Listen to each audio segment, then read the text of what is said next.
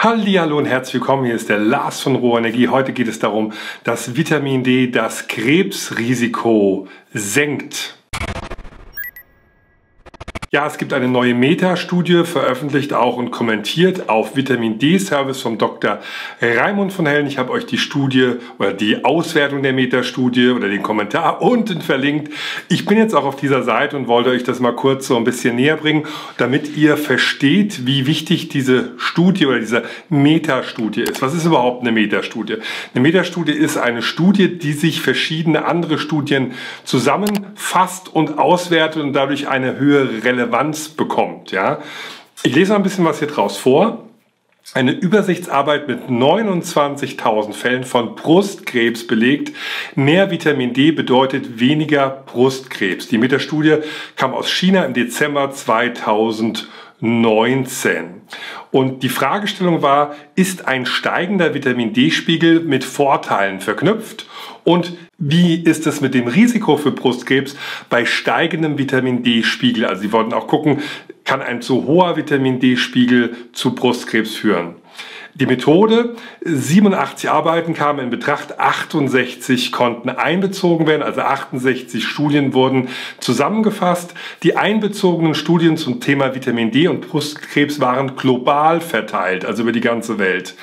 29.095 Fälle von Brustkrebs und 53.060 Kontrollfälle wurden hier einbezogen.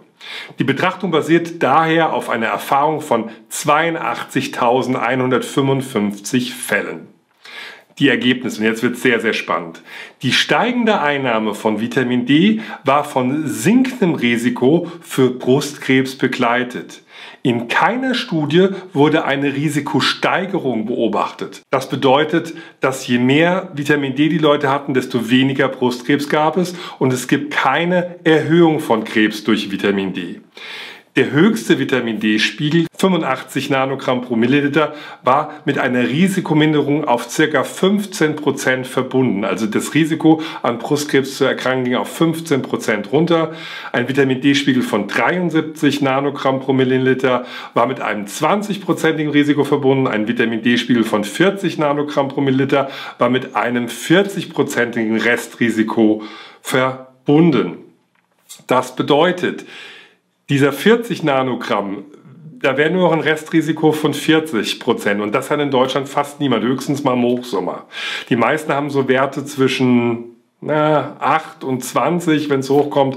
Manchmal geht es im Sommer auf 40 hoch, aber so richtig schöne hohe Werte wie 85 Nanogramm pro Milliliter kriegt man nur, wenn man substituiert oder nahe des Äquators wohnt und die ganze Zeit draußen ist. Wir schauen uns mal diese Grafik vom Dr. von Helden an. Hier sieht man ganz eindeutig, das sind verschiedene Linien hier, die statistisch relevant sind. Je höher der Vitamin D-Spiegel war, desto niedriger wurde das Risiko. Und das Beste war im Prinzip hier oder ein, ein guter Wert ist, ab 73 Nanogramm pro Milliliter geht das Risiko auf 20 Prozent zurück. Und hier bei 85 Nanogramm pro Milliliter ging das Ganze dann zu Ende, weil es wahrscheinlich keine gefunden haben, die höhere Werte haben, hatten im Durchschnitt. Und da geht es auf 15 Prozent runter. Ja.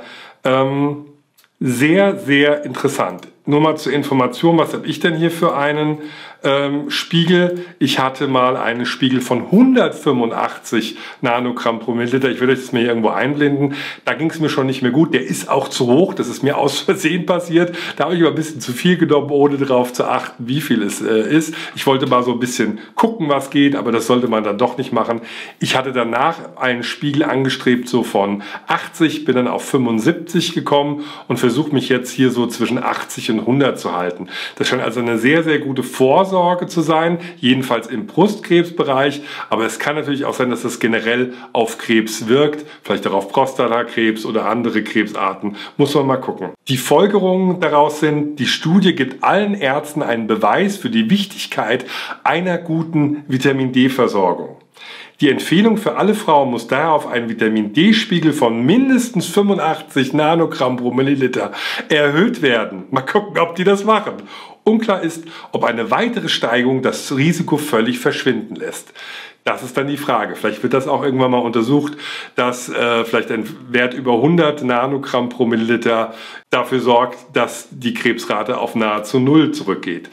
Das geht jetzt hier hauptsächlich um äh, ja vielleicht die Prophylaxe, dass man sagt, ich äh, will was gegen Krebs tun, ja, ich will einen guten Vitamin D-Spiegel haben, damit einfach das Immunsystem gut funktioniert, weil Vitamin D ist ganz elementar für das Immunsystem und ich halte meinen hoch. Wie ihr das macht, müsst ihr selber entscheiden. Ich habe auf jeden Fall unten euch nochmal PDFs verlinkt mit so Fallbeispielen, wie man sich je nach seiner Gewichtsklasse äh, von 20 Nanogramm geschätzt auf 80 hochsupplementieren sein kann.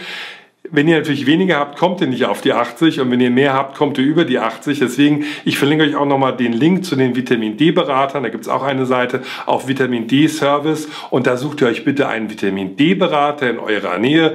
Bucht den, redet mit dem, macht zusammen vielleicht mit dem einen Test, dann wisst ihr, wo ihr vorher standet, wo ihr danach standet und könnt dann halt richtig mit der perfekten Dosis euren Vitamin D-Spiegel, den ihr euch selber aussucht, erhalten und habt dann einfach gesundheitliche Vorteile. Ja? Schreibt ihr mal unter dieses Video, wie hoch euer Vitamin D-Spiegel ist, am besten in Nanogramm pro Milliliter. Es gibt auch auf der Seite hier äh, Vitamin D-Service einen Umrechner, den verlinke ich euch auch mal unten. Da könnt ihr euch das dann umrechnen, wenn ihr auf Nanomol oder sowas die Ergebnisse bekommt. Und ich bedanke mich fürs Zuschauen, gebt dem Video bitte einen Daumen nach oben, abonniert den Kanal, aktiviert das Glöckchen und wir sehen uns bald wieder. Bis zum nächsten Video. Macht's gut. Tschüss.